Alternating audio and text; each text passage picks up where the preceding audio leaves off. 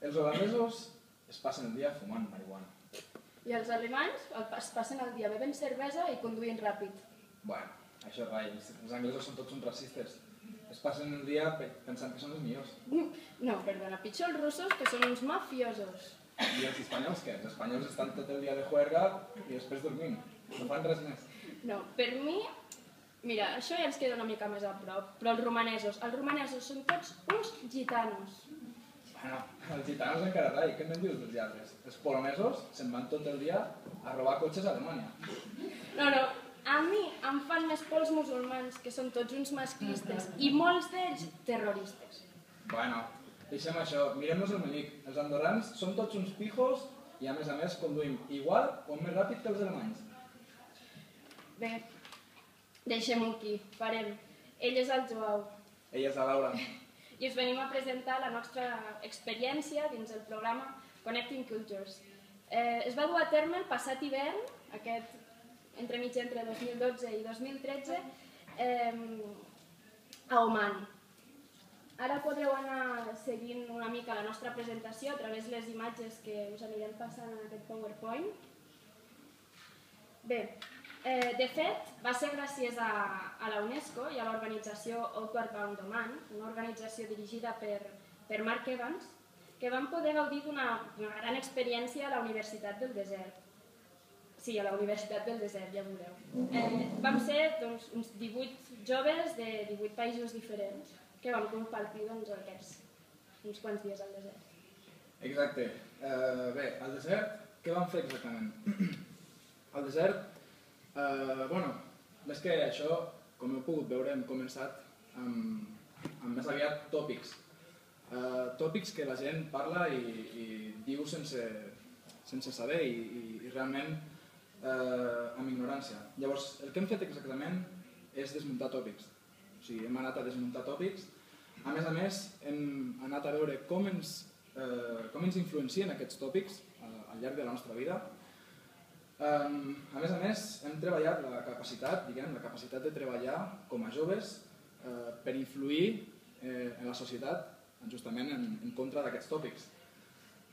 A més a més, hem utilitzat eh, diguem, el diàleg, justament el diàleg ha sigut l'eina principal d'aprenentatge durant tot aquest eh, programa, durant tot aquest viatge o travessa que, que hem fet. Eh, a més a més, bueno, hem fet diferent activitat, diferents activitats conjuntes i, i debats varis justament sobre, sobre, els, sobre les diferents cultures que, que existeixen al món. Sí, bueno, després que continuarem una mica amb les presentacions, quan ens dividim per grups ja us acabarem de precisar el què, no?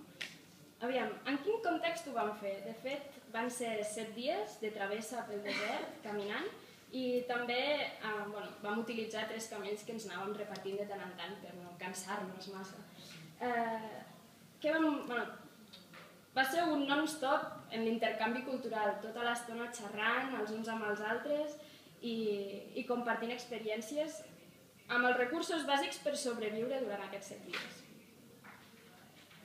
Bé, uh, durant aquesta travessa eh, hem parlat de moltes coses, però sobretot hem tret certes conclusions. Um, una de les conclusions més importants que hem tret és que els humans ens assemblem més del que, o sigui, del que ens pensem. Podem tenir diferents cultures, diferents religions, diferents colors, però gairebé tots som iguals.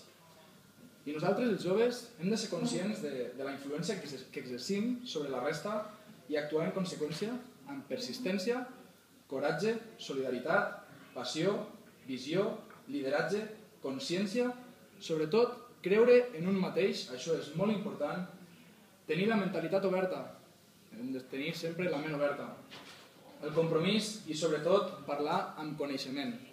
Hem de parlar amb coneixement perquè nosaltres eh, som ignorants i moltes vegades parlem sense saber del que parlem. Així doncs, en definitiva, nosaltres els joves serem els qui marcarem la diferència en un futur pròxim. Com ho vam fer?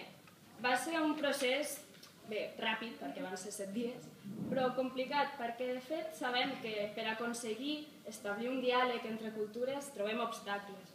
podem trobar com a, com a persones in, interessades dins aquests projectes culturals, podem trobar obstacles com pot ser la, la por al fracàs, la, la mancança de mitjans econòmics necessaris pels nostres projectes, la cobdícia, el rebuig, la ignorància, les normes socials, potser la por al canvi i, finalment, les lleis actuals de cada sistema judicial dels diferents països pels quals podem procedir. Ara, ara arribarem... Bueno, després les fotos, eh, si voleu veure-les una mica més, us les podem ensenyar amb una mica més de detall. Però realment, eh, ja que tenim una, una mica de temps limitat, això és el que us volem ensenyar. Bé, aquesta piràmide, o aquest esquema, resumeix bastant bé el que va ser la nostra experiència al desert. Com podem definir el que és el diàleg intercultural? Tenim dos vessants, dos, dos, grans, sí, dos grans termes. Un d'ells és el temps i l'altre és el risc. És molt fàcil donar la nostra opinió, cadascú té la seva i com hem dit, la llibertat amb el diàleg és, és essencial fins a un cert punt. No? Després passem a una segona fase, que són els fets. Ja costa una mica més de temps i prens una mica més de risc, perquè a l'hora de dir mm, un exemple clar seria Oman. Oman està sota l'Aràbia Saudita i la seva capital és Muscat. Per arribar a aquest punt he necessitat el meu temps i prenc el meu risc perquè és més fàcil que m'equivoqui. És o no és.